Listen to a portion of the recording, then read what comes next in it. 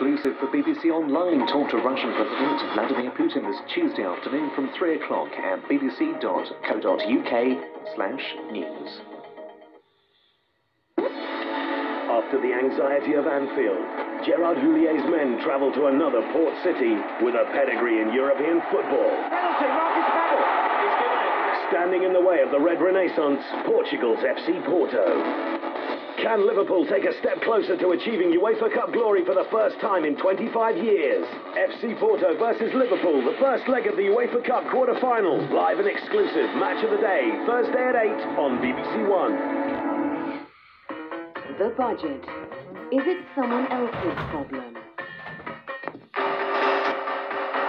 Affecting someone else's family?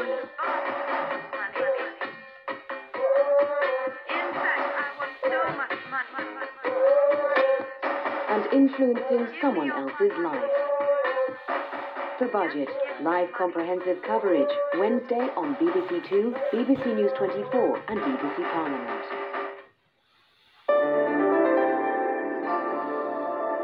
Oscar-winning drama for BBC One now, five minutes later than planned. Money and Power Games for Michael Douglas and Charlie Sheen, with strong language and big business on Wall Street.